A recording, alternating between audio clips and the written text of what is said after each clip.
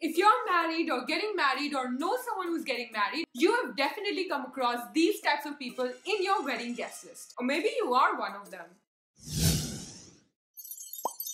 This is that one guy who has a problem with everything you can possibly imagine. He has an inherent talent to be mad about everything that you supposedly do in your wedding planning. He wants to be involved in every little discussion and plan around your wedding, not because he wants to help, but because he wants to pick on the smallest of your mistakes and throw tantrums about them. And after all this drama, he will always end up getting his own way. Yes, I got your invite, but my grandson is not invited for one of the functions. I received your gift in the post today. How could you not come personally to give the gifts and invitations? This is so unwelcoming. I am extremely insulted. What do you mean it's a small function? My grandson must be invited. On your invitation card, I have been referred to as Mr. Viru Sahastrabuddhe, whilst you very well know I am Dr. Viru Sahastrabuddhe. This sort of behavior is extremely demeaning and rude and will not be tolerated. Have you forgotten to invite my dog? This is an ordinary guy you would see walking on the streets. But, but, but, as soon as you tell him you'll not be able to attend his wedding, he turns into this psychomaniac who will not even try to comprehend you or your reasons, no matter how valid they are. He would actually go as far as ignoring you and breaking his friendship with you. Oh, and uh, don't be surprised if you see him break all the barriers of immaturity and click not attending when you invite him for your wedding. Yo, What's up, man? I was just about to ask him. Yeah, listen, I I don't think I'll be able to attend your wedding, man. My granddad just passed away.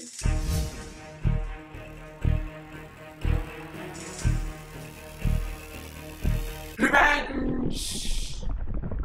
These are those few people who lead you to believe that they'll definitely be coming to your wedding, but they will let you know of their 100% confirmation very shortly. The shortly comes and goes, but you do not end up hearing from them. You see, when they tell you they let you know, they expect you to magically know that it's your responsibility to ask them multiple times rather than them taking the initiative to get back to you. And when you finally reach out to them, they break to you the news of them not being able to make it. Question why don't you guys save both parties the time and the effort and just say no in the beginning?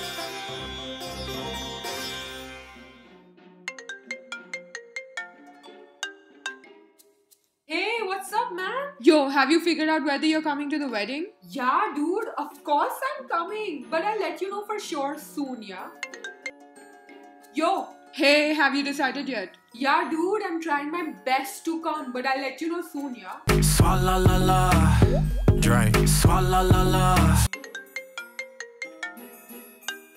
Yo man, what's up? Bro, have you decided? Dude, I was just about to call you. Actually, I have a lot of work deadlines and it's gonna be very difficult. So, I don't think I can make it. Sorry, bro. This person is more excited for your wedding than even you are. They have been preparing for your wedding since your engagement and nothing can break down the enthusiasm of this cutlet. This person is most likely your bridesmaid or your best man. Holidays approved with my boss for your wedding. I've decided exactly what I'm gonna wear for each function and I'm also carrying two extra outfits just in case for backup. Huh?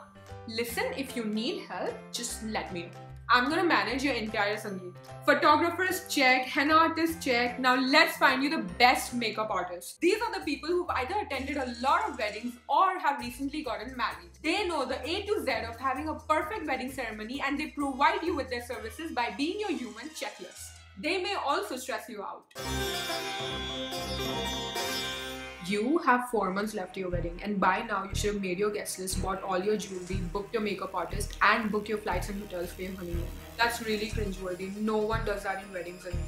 Dude, you really need to start your dance practice. Yo guys, hope you enjoyed the video. If you've come across any one of these people in your guest list, let me know in the comments below. If you have nothing better to do, watch my last video here. And don't forget to give this video a huge like and click my pineapple picture below to subscribe to my channel. I'm Ananas. Keep laughing.